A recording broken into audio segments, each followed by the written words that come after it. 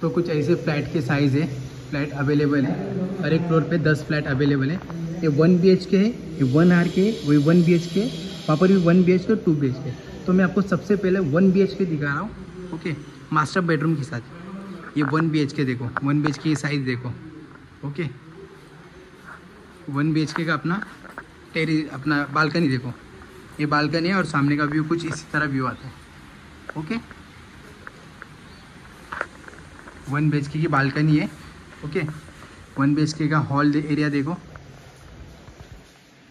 इसका kitchen area देख सकते हैं, किचन एरिया बहुत बड़ा एरिया साइज़ है, किचन एरिया की size okay?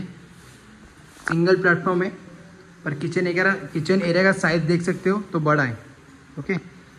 Common toilet bathroom है, ओके? इंग्लिश टॉयलेट बाथरूम है, ओके? और अपना हो गया मास्टर बेडरूम मास्टर बेडरूम का साइज़ भी देख सकते हो, काफ़ी बड़ा है, ओके?